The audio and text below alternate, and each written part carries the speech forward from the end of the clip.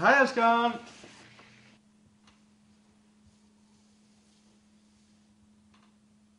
Sæl Pál. Býtu, hver er þú?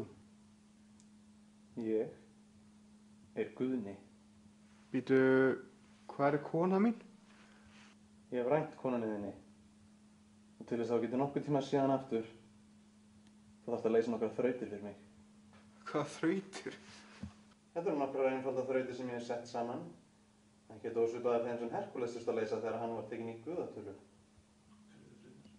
Hver eru þrautinar? Í fyrsta lagi þarf það samin að kóru í eitt ríki.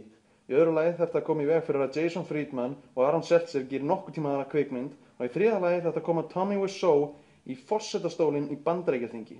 Þetta er allt frekar einfaldar og, og, og, og basic þrautir sem að reyna á vitsmun og kænsku sem að þú býrið yfir, Palli. Hvað gerir ég neita? Þá dreip ég konuna þína. Ætli ég neðist það ekki til þess að gera það?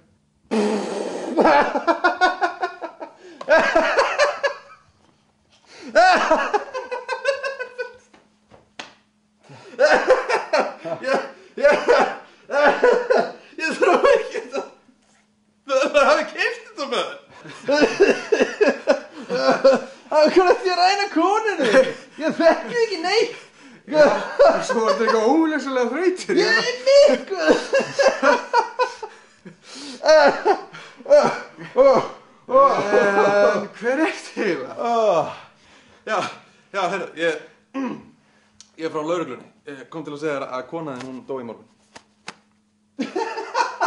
Til að stoppa Jason Friedman og Alex Seltzer. Hvað, þeir gera frábæra.